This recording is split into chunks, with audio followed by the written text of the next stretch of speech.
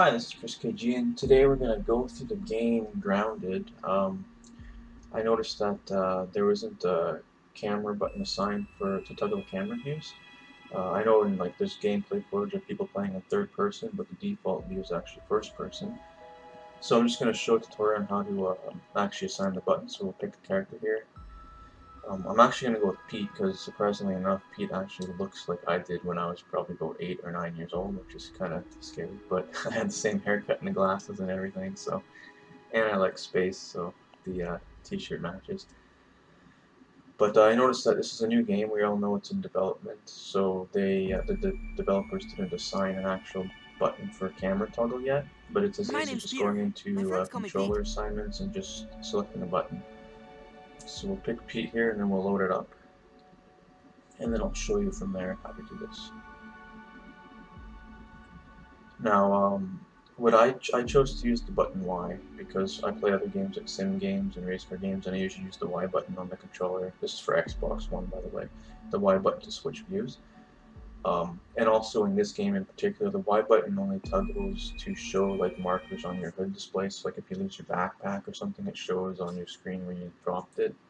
So I would, in my opinion, I would leave that on. So just make sure before you assign the uh, new button layout, make sure you leave markers on so you don't have to worry about uh, it not showing up on the screen if you get killed by a spider or something, me you will, and you lose your marker. Okay, so from here we're going to go into the uh, options menu and then we're just going to go to um, the controller assignment. So just push the bumper paddles to go over until you select controller and then go all the way down to the bottom.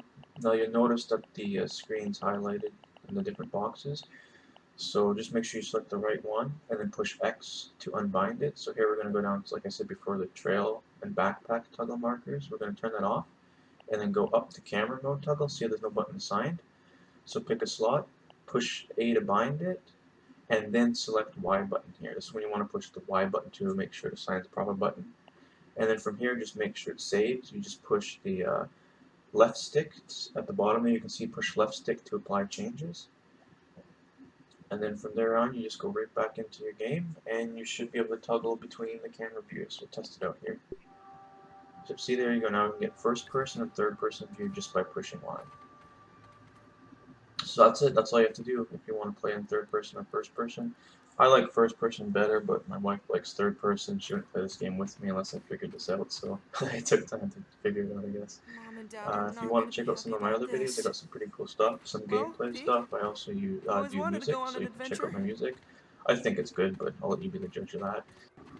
Alright, well thanks for watching. Until next time, this is Chris KG, and don't forget to subscribe if you like. Peace out.